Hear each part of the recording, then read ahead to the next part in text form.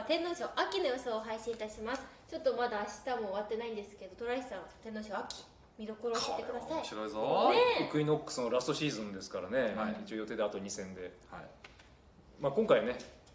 ルメールさんも言ってますけど宝塚記念の時よりも、ね、状態いいんで。でベストコースも言えるね 2000m ですから、あのーそれなのに2着に負けてしまうってお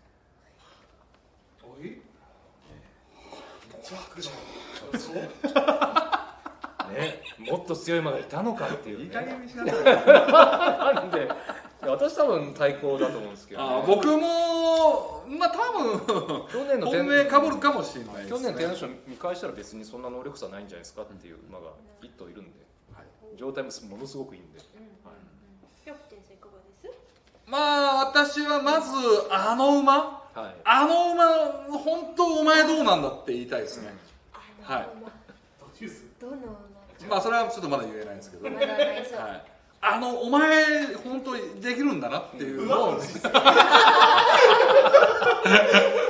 ぐらいもう偽物じゃねえだろうなっていうことを言いたいですね。はい、どうなるか、はい。ウィニング競馬放送前のフライング競馬変わらずございますのでよろしくお願いします、